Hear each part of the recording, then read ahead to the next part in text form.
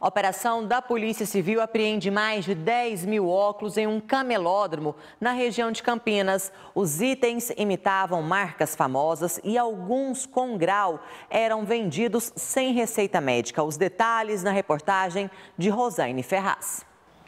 São aproximadamente 11 mil óculos apreendidos pela Delegacia de Repressão a Crimes contra o Consumidor. A ação contou com o apoio do GT3, o Grupo Tático da Polícia Civil e a Polícia Técnico-Científica. O trabalho é parte da Operação Falsa Proteção. A apreensão foi feita em um camelódromo que fica na região de Campinas. Além de óculos de sol que imitam marcas famosas e armações de marcas falsificadas, foram encontrados óculos de grau, de acordo com o delegado, que eram vendidos sem receita médica.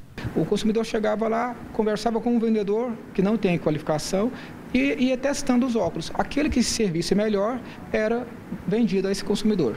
A estimativa é que a venda tenha causado um prejuízo ao Estado de aproximadamente 700 mil reais, devido à falta de recolhimento do ICMS.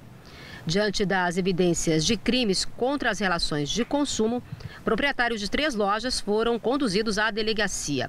De acordo com a polícia, seriam os maiores distribuidores de óculos falsificados na capital.